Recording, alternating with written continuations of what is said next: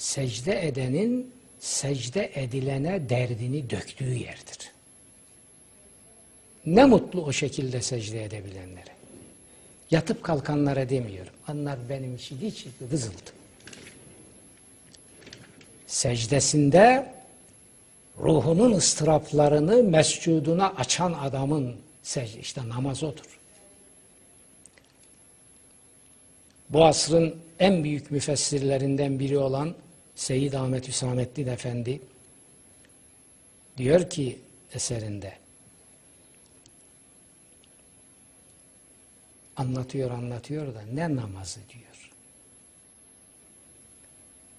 Bu namaz kılan gördükle bunların bunlar hayatları boyunca namazın 40 kilometre yakınına bile yaklaşamazlar. Bunların yatıp kalkması namaz değildir. 120 bin cami, yüzde 99 buçuğu Müslüman, 76 milyon ülke.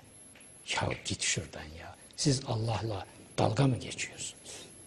Ben bile yutmuyorum bunu. Allah yutar mı? Yüzde 99'u geç.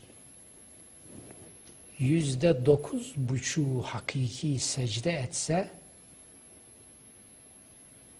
bu memlekette hepimizin canını yakan kötülüklerin hiçbirisi vücut bulamaz. Secde mecde eden kimse yok bu ülkede. Var. Kendi ıstırabı içinde işte Bescüt ve uyarak